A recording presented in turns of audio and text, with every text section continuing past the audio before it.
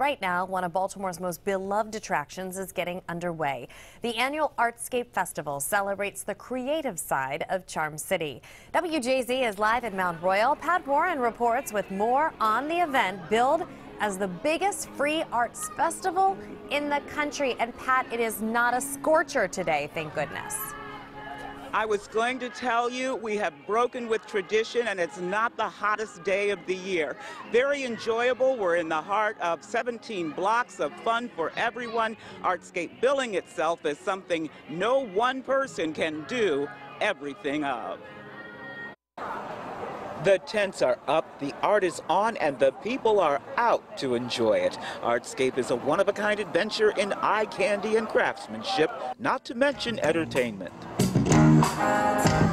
What does this say about Baltimore?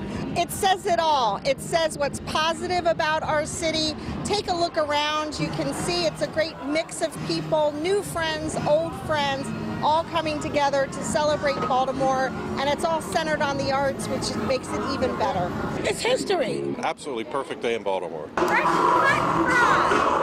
With food almost as good to look at as it is to eat. Artscape is beautiful. And lights up when the sun sets, like this exhibit by Nathan Towle, sponsored by Artscape partner Horseshoe Casino. On the branches, there are also pixels, and you'll get to really um, bask in that later this evening. It's going to be quite a sight for the eyes. We thought this year our theme would be the year we didn't have a theme and kind of get back to basics, really celebrating what makes Artscape so special. Where else can you have an ice cream and an empanada and be serenaded by wonderful music? And it's free.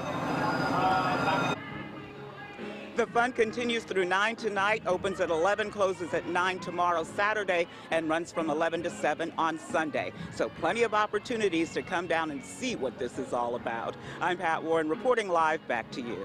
All right, Pat, thank you. Festival organizers suggest that you check the website for the best way to experience the festival.